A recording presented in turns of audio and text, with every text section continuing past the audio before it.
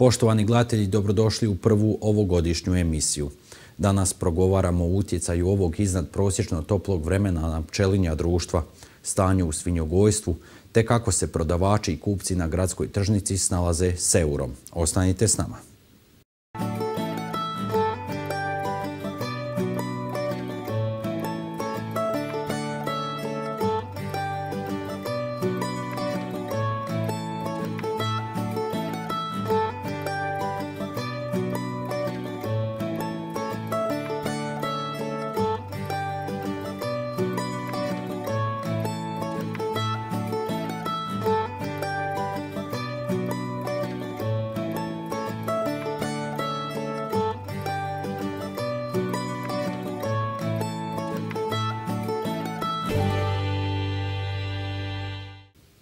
Industrijski park Nova Gradiška s radom je počeo 2003. godine.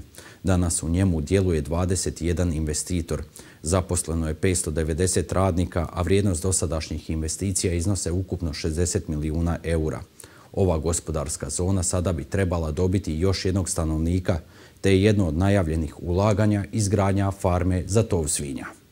Farma za tov svinja tek 500 metara od naselja. Nova potencijalna investicija u industrijskom parku Nova Gradiška već nekoliko mjeseci muči građane. Imamo dva aspekta te, te, te farme.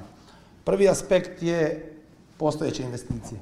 Bilo koja dolazna radna mjesta su višestruko manja, makar bilo 200 radnika na farmi, 1000 radnika, to će zapravo ugasiti dva, tri puta više radnih mjesta. Jer dodaje izgradnja farme značila bi nova teško provediva ulaganja za već postojeće tvrtke. To će ugroziti svo, svo to postojeće poslovanje, a to poslovanje u industrijskom parku nisu, nisu, nisu dvije olovke, nije to nekakav čekić, to su milioni kredita, investicija, nečijih sudbina. U pitanju su tu i sudbine malih ljudi i to onih koji žive u okolnim naseljima. Mnogi od njih i zaposleni su u industrijskom parku. Na društvenim mrežama novu investiciju vide kao mogućnost otvaranja novih radnih mjesta. Građani očekuju, oni koji se slažu sa izgradnjom, očekuju otvaranje mnogobrojnih radnih mjesta s obzirom da mi otprilike znamo da se radi o poprilično automatiziranom pogonu gdje ipak neće biti zapošljavanje 100-200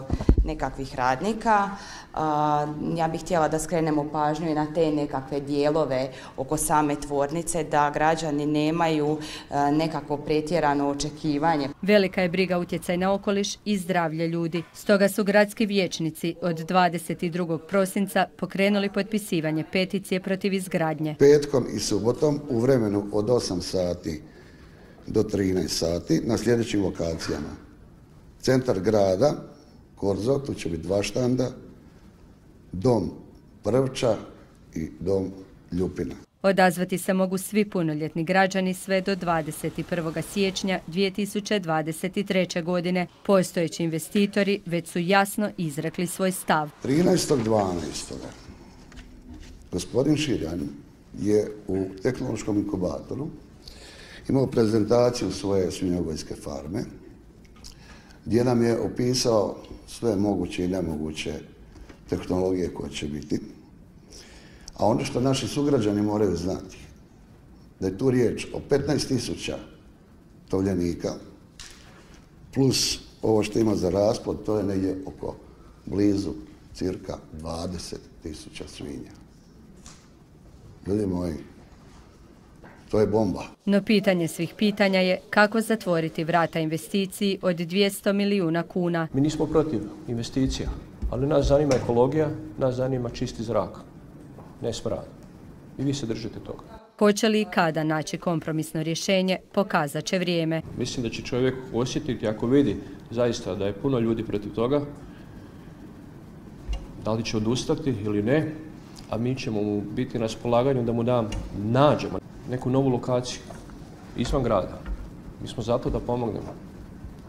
Jer ljudku, odnosno ruku na, na srce, to će biti ogromna investicija i stvar koja bi mogla negdje drugdje funkcionirati. Imamo slobodnih brda, imamo slobodnih pašnjaka, imamo svega i mi smo apsolutno za da podržimo to, ali ne u okrugu naših kućanstava. Za realizaciju ovoga projekta ističu u gradu potrebne su bar dvije godine. Građevinska dozvola je ishođena, a u tijeku su pripreme za upravni sud. Nakon peticije za koju naglašavaju ima tek moralnu, no ne i pravnu vrijednost, gradski vijećnici razmatraju i mogućnost raspisivanja referenduma. Referendum se mora dakle mora raspisati radi odlučivanja o prijedlogu za postavljanje gospodarskih i drugih kapaciteta koji su ekološki neprihvatljivi za grad. Farma za tov svinja u blizini njegova središta slažu se, upravo je takva.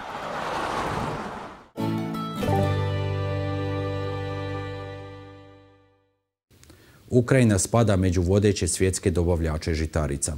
Početkom rata značajno se smanjio izvoz, a cijene diljem svijeta naglo su porasle. Cijela 2022. godina stoga je obilježena brojnim poremećajima na globalnom tržištu.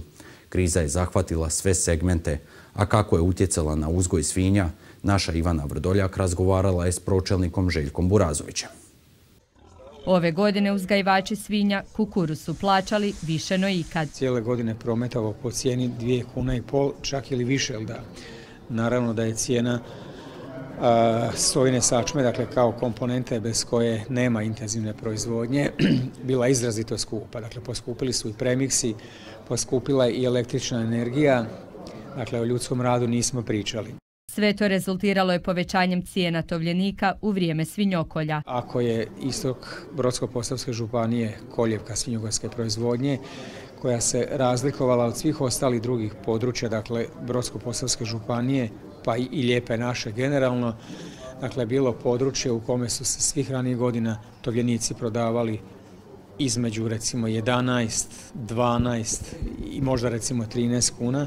Dakle, ove godine je ta cijena živi životinja na istočnom dijelu županije dosegnula dakle, visokih 18 kuna. Puno za konzumente i veliko opterećenje za kućni budžet, no za svinjogojce nakon dugo vremena ipak dobra godina. Ako pamtimo nekakve godine gdje se govorilo o financijskom rezultatu minusa, dakle ovaj, ove godine je to bila jedna, rekao bi, blaga zarada, odnosno značajno bolji financijski rezultat na malim obiteljskim poljoprivrednim gospodarstvima kod kojih je ta priča bila nešto malo drugačija. Dakle, prometovat na relaciji biti dobavljač velikom trgovačkom lancu je jedna priča, a promet između dva obiteljska gospodarstva neka, neka sasvim druga priča. Tako su bolje prošli, kaže, mali proizvođači od onih većih. To su oni naši veliki proizvođači koji su se udružili u klaster proizvođača svinja, dakle za njih je ta cijena dakle bila nedokučiva, znači kod njih se to prometovalo, ali recimo po nekakvoj značajno nižoj cijeni, recimo po 13 kuna, koja u odnosu na ove iste skupe komponente, dakle nije bilo razlike u cijeni kukuruza u dubočstvu i tu kod nas,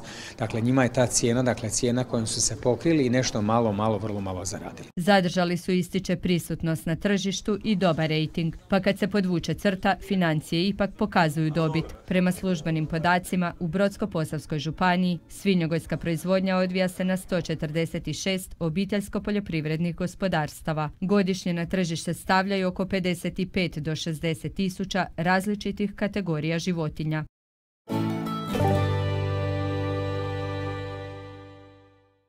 Sunčano vrijeme te temperature veće od 10 Celzijevih stupnjeva ostavljaju dojam da smo na početku proljeća, a ne u zimi. Iznad prosječno toplo vrijeme potvrđuje da se u klimi nešto očito mijenja, a sve to utječe i na pčele.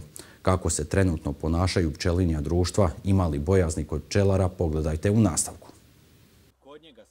Nedaleko Pocrkavlja nalazi se pčelinjak s oko 140 košnica, a o dijelu njih vodi brigu i Damir Šajnović. Moram napomenuti da ovdje e, su dva vlasnika, jedan sam ja, jedan je moj e, prijatelj, mentor, gospodin Anton Jukić, koji je, koji je vlasnik negdje oko stotinjak, stotinjak ovdje košnica, ostatak je moj.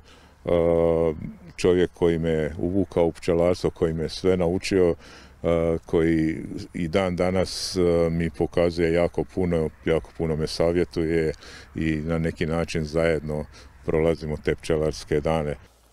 Mir koji bi sada u ovo vrijeme trebao biti na pčelinjacima zamijenila je graja pčela, koje masovno izlječu iz košnica, sve posljedica izrazito visokih temperatura koje su nas zadesile. Početak je prvog mjeseca, vrijeme kad bi na košnicama, odnosno na pčelinjacima trebao biti mir, kad bi pčele trebale biti u zimskom klupku. Naše pčele svjedocite, naše pčele su izašle van, matice su krenule sa leglom, masovno se nosi pelud, unosi dolazi do zaleganja. Slobodno možemo reći kako je i ovo netipično vrijeme zbunilo i same pčele. Sve bi objašnjava nam predsjednik pčelarske udruge Zrinski u narednim zimskim mjesecima moglo imati strašne posljedice. Biće jako, jako puno problema ukoliko dođe do dugotrajnog zahlađenja. U tom slučaju pčele neće napustiti leglo i bit će velika opasnost od ugibanja zato što neće otići do hrane koja će im možda biti i pri ruci na par centimetara od njih, ali naravno one će se zadržati na leglu. Stoga se na pčelare, prvenstveno početnike i hobiste, apelira da pčelinjake ovih dana i obilaze, posebno da rade kontrole hrane u košnicama kada dođe do pojave legla. U tom trenutku pčele podižu znatno temperaturu na 35-36 stupnjeva i tada dolazi do velike potrošnje hrane. Možemo jedino eventualno intervenirati sa pogačom, da je osiguramo pogaču, da tu pogaču ima blizu samog legla, drugo ništa posebno, posebno u tom trenutku ne možemo raditi.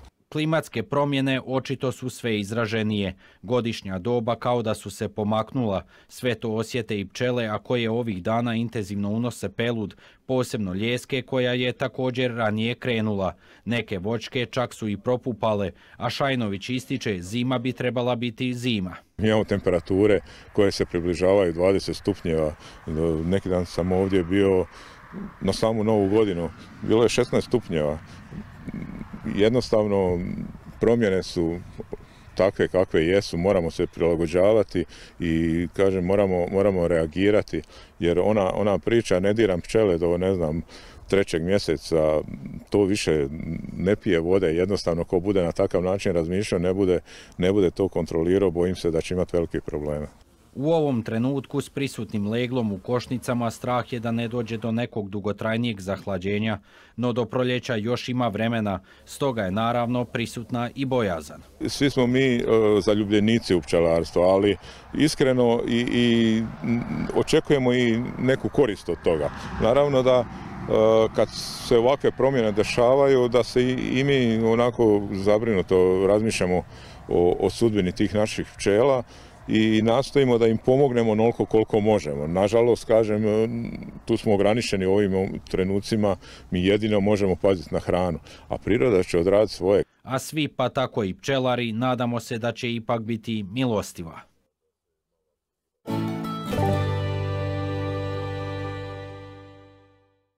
Dvojne cijene istaknute su i na gradskoj tržnici, a iako smo od 1. siječnja prešli na euro, u ovom prijelaznom razdoblju još uvijek veliki broj građana plaća kunama. Stvara li cjelokupna situacija probleme i nesporazume? Kako se kupci, ali i prodavači trenutno snalaze, naša ekipa provjerila je na gradskoj tržnici. Imam dvije posudice, u jednu mećem kovanice, u jednu eure. Eto. Tako je sebi prodavačica na gradskoj tržnici gospođa Anka olakšala trenutno prijelazno razdoblje, kada se može plaćati i kunama i eurima. Trenutno se još kunama, još kunama, ali tu i neko, ali preračunavamo u, u eure. Kako se snalazite? Pa snalazimo se, snalazimo se, računamo u glavi. Nije pomoć kalkulatora? Nije, nije. Pa najčešće plaćaju kunama i onda mi kune i vraćamo. Baš neki koji su dobili mirovine od prvoga u eurima, oni plaćaju u eurima, a tako onda i vraćamo euro. Ali evo, snalazimo se, ovaj, malo se oni bune, malo se mi, ali evo, aplikacije, kalkulatori, sve, ovaj, evo, snađemo se glavnom nekako. Iako je euro sada službena valuta, većina se, kažu nam, još uvijek pokušava riješiti kuna. Neke to i ljuti. Kud ćemo mi poslije sa tim kunama? A ja sam svoj novac pretvarala u mjenjačnici za eure, a on sad ima bez provizije. Mi smo sad kao mjenjačnica. Snađi se kako znaš i umiješ, pravilo je kojeg se sada drže mnogi. Vrijedi to i za kupce, cjelokupna situacija niti njima nije jednostavna. Malo nam je neobično zato što ovaj, nismo naučili mi stari. Iako sam ja ovaj, sa evrom vrtla odavno, gdje sam u Njemačkoj pa znam, ali je teško. Teško jer ne možeš odmah priračunati. On tebi izvasi pa ti da li je to točno, da li nije. Ali eto, valjda ćemo se priviknuti. Kako se vi snalazite sa eurom, kunama, s čim plaćete? Nemam nikakvi pa sam bez brige. Da smo baš kupovali, platili smo s eurima jer smo si uzeli eura sitni. Ali smo najprije sjeli, mi smo u domu. Sjeli smo i onda brojili smo te sitniše tako da znamo šta kupujemo i kako ćemo platiti kada je plaćanje u pitanju i prodavači jaja, a koja su ovisno o veličini kategoriji između 2 i 3 eura, ističu najčešće probleme s kojima se susreću, kako kupci, tako i oni sami. Problem su ovi centi od 1 i 2 centa i 5 centa. Nama je to jako teško na tržnici s tim raditi. Jako puno toga ima. Na 5, 10, 20 eura to vam nije, mislim to je novčanica, ali ovi sitni na 1, 2 centa i 5 centi, to je jako puno tih sitnih novaca koji, e, s kojima je teško na tržnici raditi. Zaokružili smo negdje da nemamo baš, pa nam se malo mušterije bune, ali evo, nekako da more razumjeti oni nas i mi njih ne možemo baš sa tim sitnišima. Nismo mi trgovina. Pomirili smo se sa sudbinom koji sa svime. Koji sve? Koji sve? Jer to je naša sudbina i gotovo. Šta sad kazati, joj ne volim taj euro. Jer kroz desetak dana plaćat ćemo jedino s njima.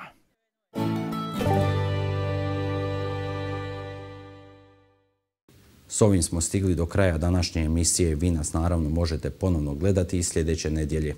Ostanite uz naš program. Doviđenja.